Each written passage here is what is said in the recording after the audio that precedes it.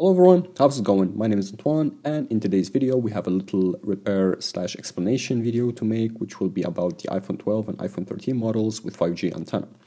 As you know, Apple introduced the 5G technology in iPhone 12 models and up, which only made in America as far as I know, so that's why you can see the difference between both American and European version from the housing. The American one has the antenna obviously on the housing, uh, and in today's video, I'll be talking about the uh, 5G antenna by taking this iPhone 12 as an example with 5G antenna, as you can see, and also an iPhone 13 Pro that I will show uh, later in this video.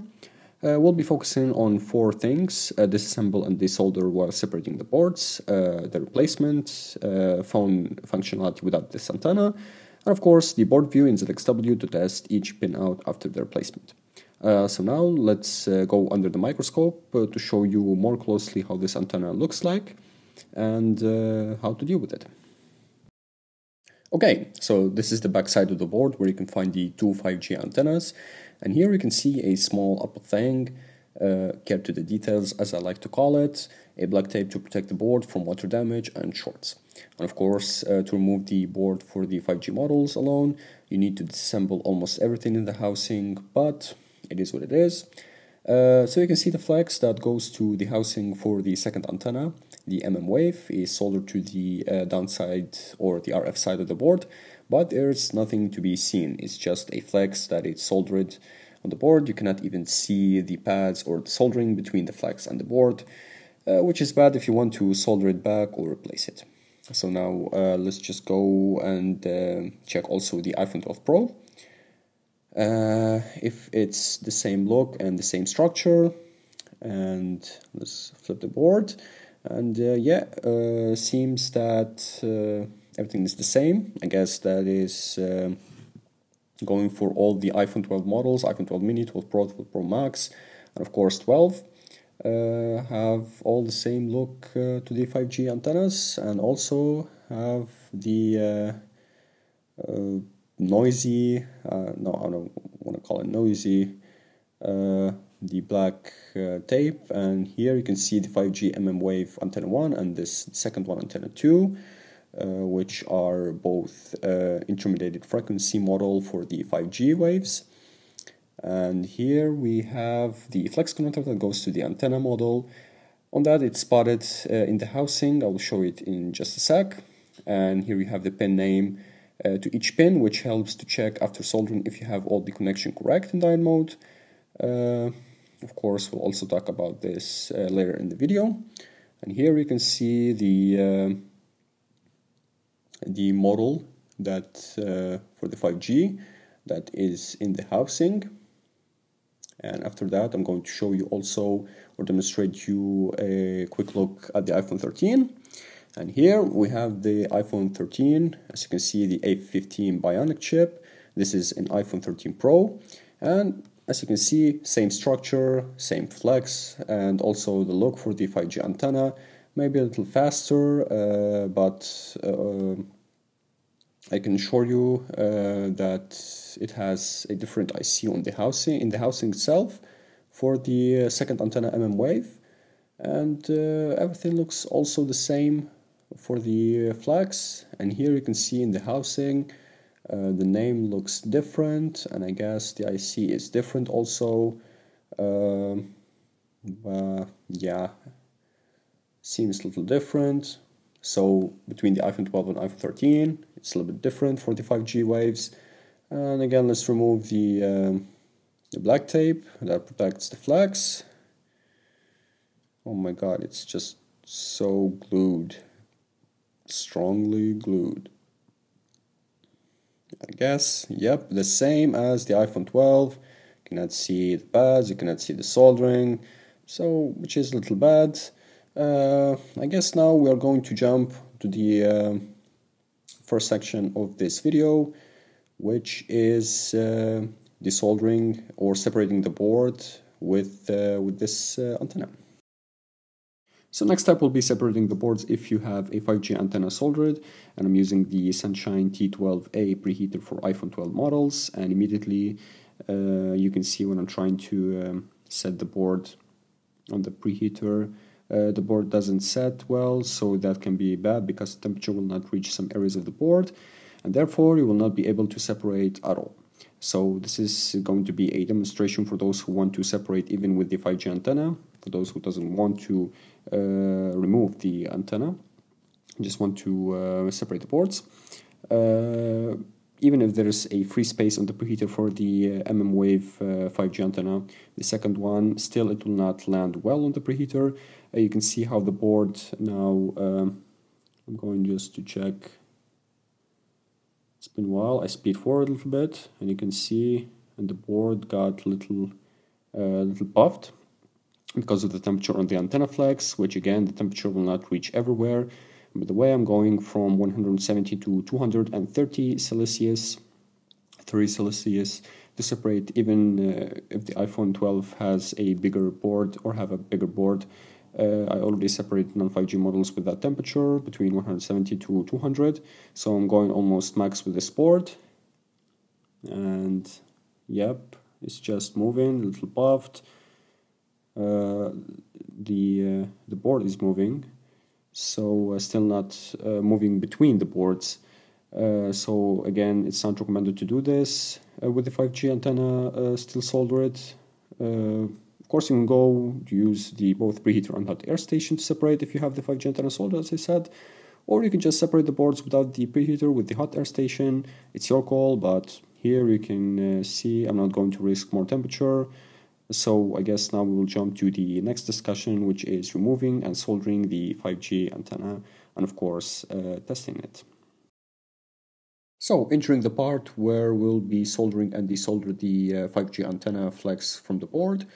So just little flux and we will sol uh, desolder with uh, 280 to 290 Celsius with uh, 13, uh, sorry, 30 air uh, with my uh, quick hot air station and you can see that it has a low temperature soldering melt so I can confirm it can be removed easily. as I mentioned earlier in the video, we cannot see the pads that connects the flex to the board so it can be a little tricky when you want to change or solder it back. So now we're going to clean everything. We are going to clean the glue that also holds the flex on the board. And uh, of course, clean both sides uh, from the soldering and apply low temperature soldering paste on both sides. I'm using the 130 Celsius soldering paste so it can be soldered with low temperature and uh, of course uh, for soldering I'm using 260 to 280 Celsius also air 13 with my quick hot air station. This technique uh, for soldering back uh, the flex it's a little tricky because most of the lines are ground and they are surrounding the important lines so make sure they are not shorted. Any shorted line could cause a short circuit or lose of the network uh, like no service or no modem firmware issue. So here we go. Uh, now we are applying the uh, soldering paste the uh, low temperature one just to make sure that everything is even and then we're going to soldering back, uh, soldering back. so again, uh, the best way to test uh, after that uh, is uh, after the soldering is to check the end of the flex that connects um, the connection goes to the IC on the board or in the housing itself. And uh, again, I al already mentioned that earlier in the video. Each pin it's connected the the connection of each pin in the video. And uh, now we're going to solder. You can see it's not moving. It's low temperature so you need to hold it a little longer. And again after that you can test each pin and now we're going to jump to the um, uh, last part which is discussion in uh, ZXW with the board view and uh, of course the functionality of the 5G uh, antenna with and without. So jumping to last part, uh, little board view on the 5G antenna on the board, and of course the board function with and without the antenna flex. So let's start with the functionality. So because this is the uh, second antenna for the 5G, uh, this is the mmWave uh, 5G antenna, first one. I'm expecting low 5G bars maybe in countries that support 5G, but uh, since I'm from Ukraine, I can't really test.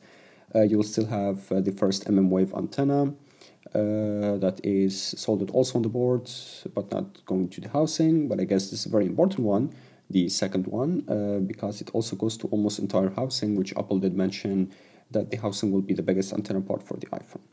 Uh, now, without the flex or a damaged one, the results are normal for network from 2G to LTE, obviously beside 5G. So basically, the phone will have network and modem firmware and full bars 2G, 3G, and LTE. If you have the other antennas connected, obviously, so this antenna is not affecting other mobile networks, expect the 5G. And that is uh, based on my experience for now with the 5G models iPhone. So uh, this is for the functionality. Now let's focus a little bit on the board view. And here we have our ZXW. And you can see this is the iPhone 12. Uh, yes, iPhone 12 core and RF board. And we talked about those uh, two antennas. Uh, but we can actually uh, forgot about one other antenna, which is uh, this one over here that connects. And I will show you for the G1100 and this is also a antenna called ES, uh, ISM or a industrial uh, scientific medical mm wave radar. This one actually for human body detection uh, using this antenna radar, but this is not the main thing today. Uh, so those are the three antennas uh, that are very important for the 5G. Uh, but if you have a problem with 5G, check the, this one also. Uh, it could be water damage because it's near an open area, which is the upper speaker. So uh, now again back to the 5G 5G antenna wave. To the second one, you can see it is surrounded with ground pads. Uh, and uh, as I said earlier, once you solder, uh, you solder the antenna, uh, check the end of the flex for any short. It's probably the same structure for the iPhone uh, 13 Pro and maybe for the rest uh, of the iPhone models, but this is for another day. And here you can see uh, we have the PPV bat, which is the voltage, the voltage. Also, other one the one V8.5.